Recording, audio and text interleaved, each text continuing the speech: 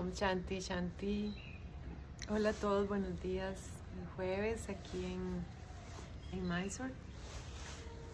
Esta semana se nos fue muy rápido. ya es 2 de noviembre, ya mañana terminamos la semana, ya el sábado es clase guiada. Entonces, eh, y ya quedan solo tres semanas para los que estamos aquí por dos meses. Así que el tiempo está volando. Y este video quiero dedicarlo a contarte un poquitito por qué es importante que vengas a India si estás en el camino espiritual. Porque es importante que, mmm, que pongas a India como prioridad.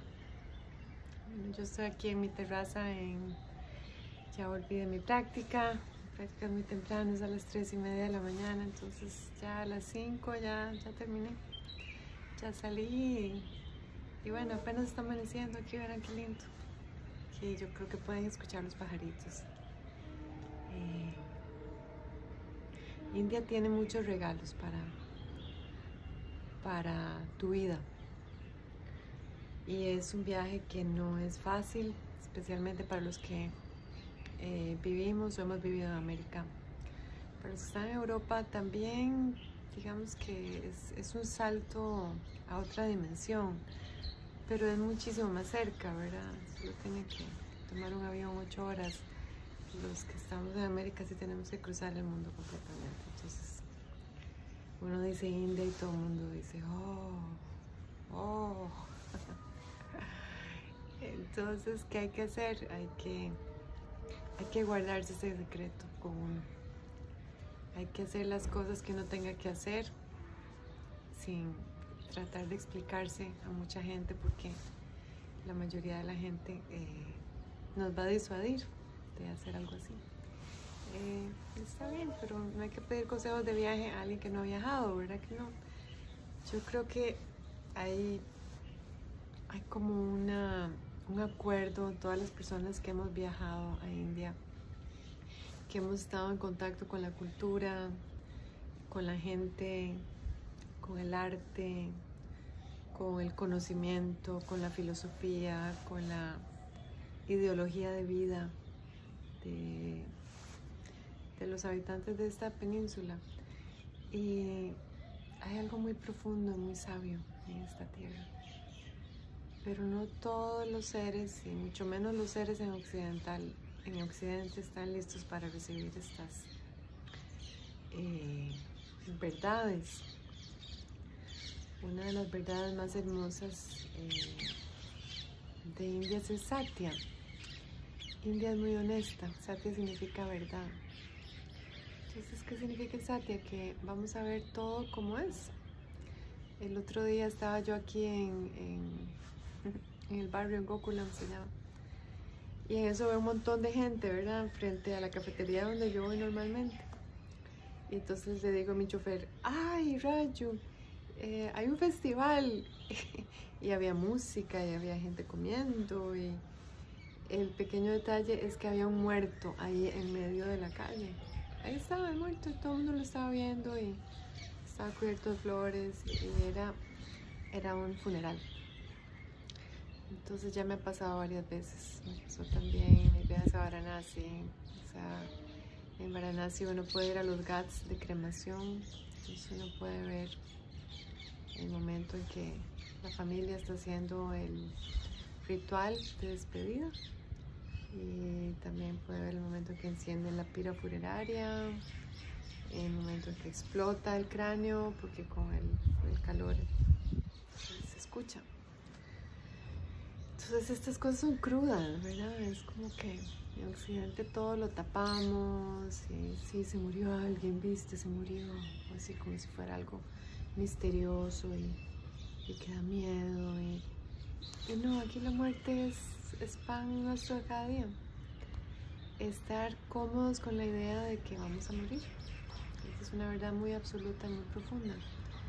Y no es fácil de digerir para un occidental. Otra cosa hermosa que tiene India es, por supuesto, la espiritualidad. Ah, yo que estoy casada con un indio, desde muy pequeños a ellos eh, los inician en el camino del espíritu. Hay lo que se llama una kula devata, que es como una deidad de la familia, que ya ha venido por varias generaciones. Eh, hay rituales, hay festivales, hay ayunos. Por ejemplo, mi esposo ayuna todos los martes, porque el planeta del más importante es Marte. todos los martes eh, él guarda ayuno de su planeta. Ven qué, linda, qué lindo ese, ese hábito de honrar las fuerzas más grandes que nosotros, de estar en conexión con el cosmos, de saber por ejemplo, cuál es nuestro planeta regente. Hoy venía hablando con mis compañeras de Rich en la mañana. Es muy importante saber cuál es nuestro planeta regente porque eh, el planeta que rige nuestra carta, védica obviamente, no la occidental, esa occidental tiene que ver más con temas de la ilusión.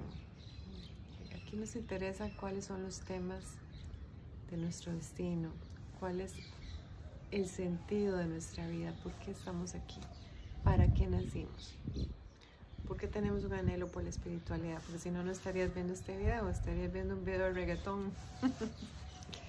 eh, ¿Por qué quieres venir a India? ¿Por qué te interesa el yoga? ¿Por qué estás interesado interesada en un cambio de vida?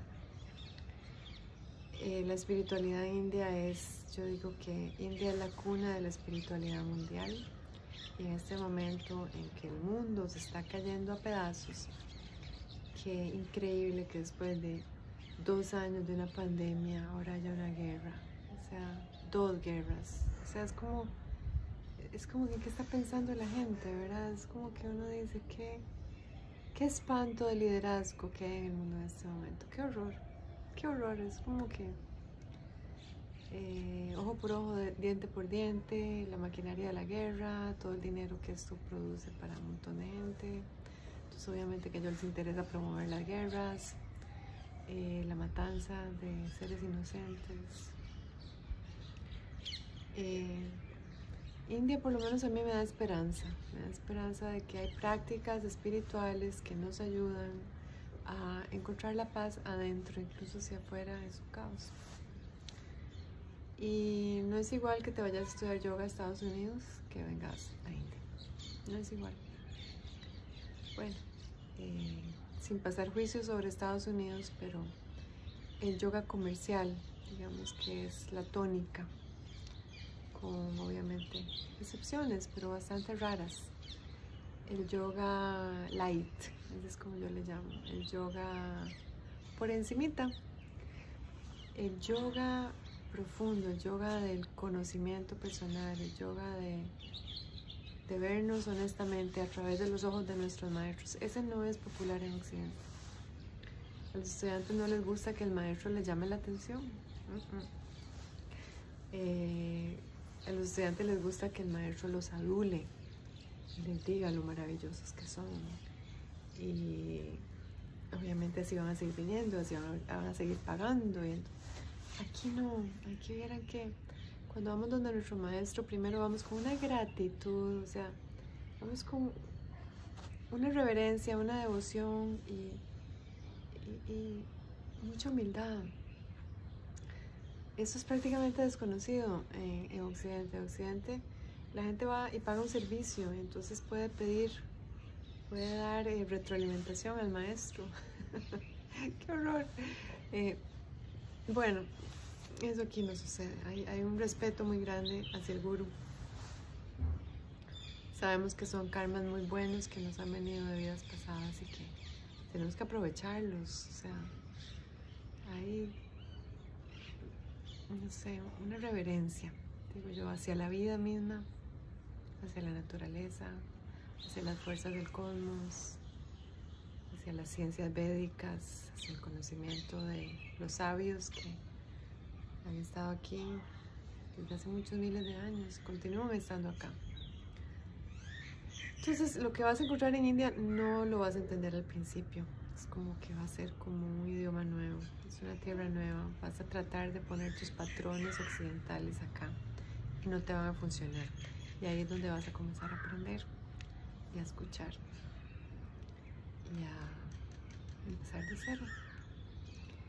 Y empezar de cero es muy saludable. Porque todos los patrones que nos han hecho sufrir, los aprendimos en ese mundo violento, en ese mundo competitivo, lleno de seres que, que no tienen visión para nada, que están corroídos por los venenos de la avaricia, la envidia, los celos, la competencia, las mentes perdidas en anhelos fatos, están inmersos en el odio, en la separación, en los juicios hacia los demás, en un sentimiento de superioridad hacia otros. Todo ese montón de venenos en Occidente se van a seguir reproduciendo, reproduciendo, reproduciendo al infinito. Porque a la mayoría de la gente lo único que les interesa es hacer dinero, acumular dinero, acumular propiedades, acumular cosas y no se han dado cuenta de un pequeño detalle que no nos llevamos nada de esta vida, ni siquiera el cuerpo. Y no están poniendo atención a lo importante que es prepararnos para la muerte. India es una invitación a ir más profundo. India es una invitación a construir una práctica espiritual. Y si tenemos buena suerte, a encontrar un maestro o una maestra. India no es para todos.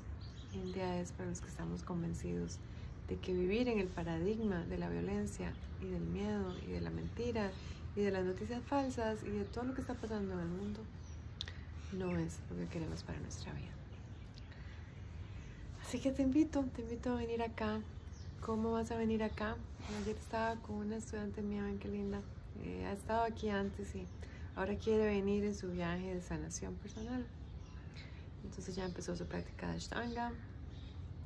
Se va a preparar esos próximos meses. Luego va a venir donde mi médico ayurvédico que también le va a ayudar a encontrar ese balance en el sistema. Está muy emocionada ella por, empezar su camino. Y yo también estoy muy emocionada por ella porque yo también recuerdo hace muchos años que yo llegué aquí sin esperanza. Y ya lo he dicho en otros videos.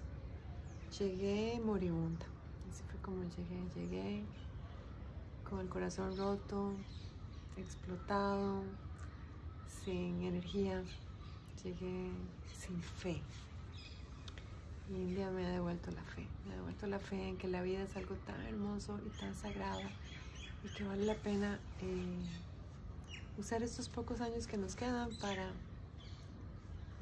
sembrar semillas a futuro, las semillas verdaderas, las semillas que que sí nos vamos a llevar. No nos podemos llevar el carro, la casa, ni la esposa, ni los hijos, ni la cuenta bancaria, ni la computadora, ni el perro, ni el gato. Pero tal vez nos podemos llevar esa confianza que hay un ser supremo que hoy nos está respirando, que está haciendo que ese hermoso sol, vean,